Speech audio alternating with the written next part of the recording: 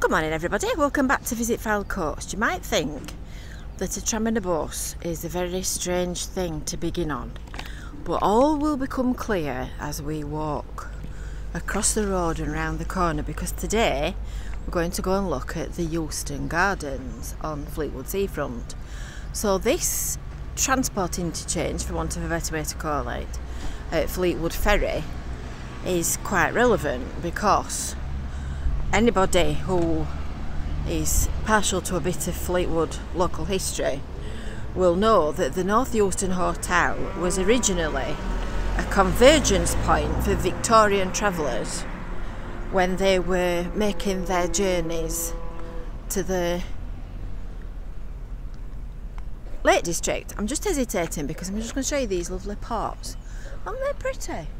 They look really nice. Fleetwood Town Council look after them and it's still a convergence point at this spot now for modern day travellers because as we've just seen we've got the we've got the um, tram and the bus stop so you can get from one to the other.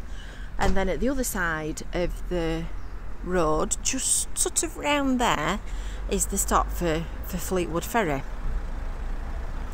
So that's the Euston as you've just seen and that's the lower lighthouse of which Fleetwood has two on land. I'm going to just show you this one before we go in the, the park and that's the upper lighthouse.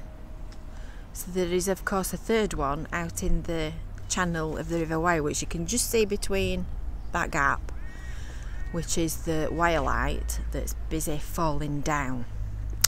So this garden is in what you might call the Victorian quarter and you can use postcode FY76BN to find it. And it's full of all kinds of different memorials and stones and historical things. The, the plaque on this one says, this stone shows the land and sea operations of the L&Y Railway Company at Fleetwood circa 1875. Now I think L&Y might be Lancashire and Yorkshire. Do you know whether that's right or wrong? If you do, just pop a, a comment below. Presented to the town by Fleetwood Civic Society in 1976.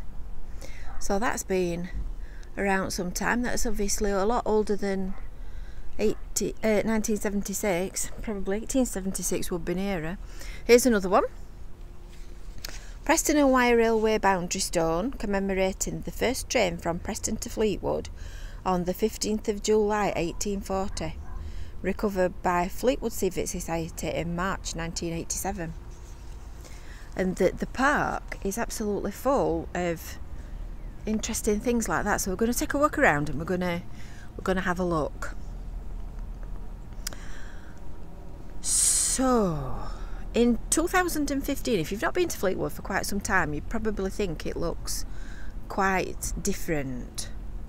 Um, and that's because in 2015 the gardens were improved, the planting was redone, the paths that I'm walking on now were relaid, new planting was put in, the shelters were improved. That's the back of one of the shelters there, the, they, they face onto the sea and the whole gardens were were completely um, remodeled. Look at all the butterflies on these plants. Goodness me, there is a lot. Might not be able to pick them up on a video, but trust me, there's a lot. Um,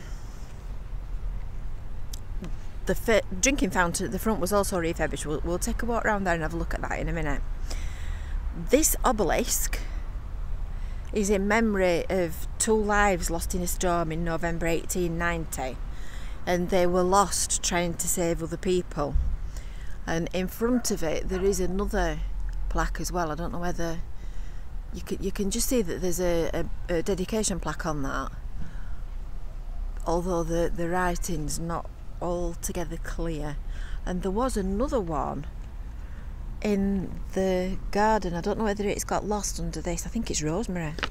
Is it rosemary? Let's have a smell. Rosemary. It smells lovely that. There was another one underneath that, so that might have been moved actually. Um, and that was from 1985, dedicated to people who'd lost their lives at sea. So, bearing in mind we're looking at him, we'll go and have a look at Sir Peter. So, this is Sir Peter Hesketh Fleetwood, and he was put at the heart of the town that he founded in 2018 by a conglomeration of Fleetwood Civic Society, Fleetwood Museum, and Fleetwood Rotary Club. Because would you believe that he was the only statue that was missing? Now I've got a bit of a sun problem here because it's quite early in the morning and the sun's not on his face yet so we'll have to we'll have to make do with the side view.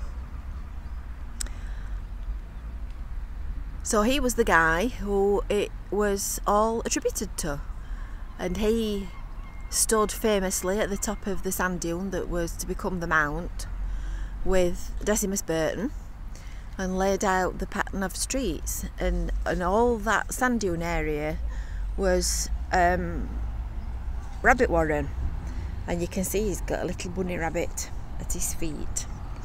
And there is a there is a dedication at the bottom of that. It says Sir Peter Hesketh Fleetwood 1801 to 1866 there's even some rabbit milk. I'll just have to show you this before I read that out. Look can you see it? Some little rabbit currants at the back of him. I've not noticed that before. so it says, on my own land, on my own warren, on my warren by the banks of the stream, out of this wasteland will rise up in glory a shining new town, the town of my dreams. And that's by R. Baxter. And that is, in fact, exactly what happened. So he's in his rightful spot in the centre of the town that he founded, keeping watch over these lovely gardens. And Euston Gardens have always been at the centre of um, events and things that have been going off in Fleetwood. And I've just noticed that as well, which I've not seen before. Royal visit to Fleetwood, September 20th, 1847. Now, that brings me on to something else because there's a cannon here. And the logical conclusion is that because the Euston was a school of musketry from 1861 to 67, the logical conclusion is that the cannon is connected to the School of Musketry. However, Maureen Blair, who is a fountain of all kinds of local information, says it's from the cannon salute that was done for Queen Victoria. And looking at the inscription on that new stone bench, I think Maureen's right. So that's a, another one. They're all kind of dotted around and, and a bit hidden in the hidden in the greenery. Now there are some anchors as well over here. We'll go and uh, we'll go and take a look at them. So going back to the, the Euston and the School of Musketry, after that it became the Euston Barracks. Um, and, there's a there's a long history of association with the war on the Fylde coast. There's uh, there's there's quite a few quite a few interesting things to explore, which we are busy plodding our way through. So these anchors date to 1870 and were put here in the 1980s. Just imagine going on a ship in the 1870s with that to slow you down. Goodness. Huh, amazing. And still in one piece. Well, two pieces because there's two anchors. So we'll pop through this gate and we'll take a look at the shelters and the water fountain there's a there's a full article on the Visit Fleetwood website about the Euston Gardens and its restoration, and there's some really interesting pictures as well of what it looked like before it was restored. Um, so you might want to have a look at that. I'll pop the link for it in the description below. If you've got any questions, don't forget to, to pop them in the comments, and we'll do our best to to answer it. So this drinking fountain is is, is one good example. I'm, I'm coming around here to show you the cherub, but unfortunately, he's got the sun in front of him. So we'll go back around here. So the drinking fountain dates to um, 1890. Unfortunately, you're not going to see the cherub's face because if I do, I'm going to blind you. It dates to 1890 and it's in memory of two fishermen who were lost at sea, saving others.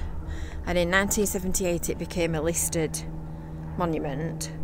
Um, and in 2018 it was reinstalled after it had been refurbished and you can see it's a it's a nice job looks nice it's lovely and there's a link as well to some information about the the water fountain because that's that's quite interesting in its own right.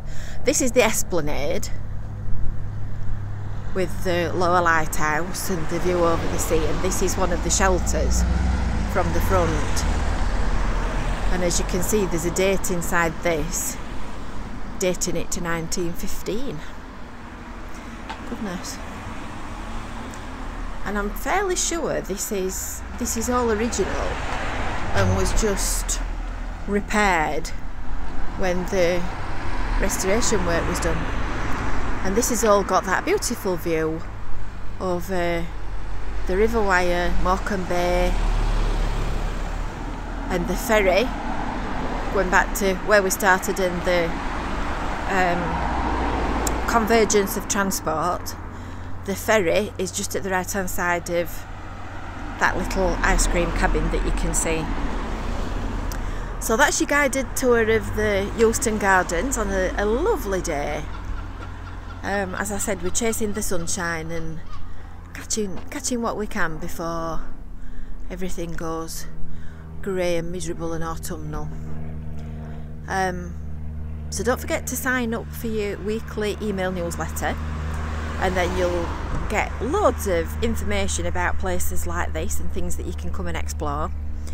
Don't forget to subscribe to our YouTube channel and hit the bell for notifications. Then you'll know when we've uploaded new videos. Questions and comments below in the comments. And don't forget to give it a like. Must give it a like. Have a lovely day now. We'll see you later. Bye.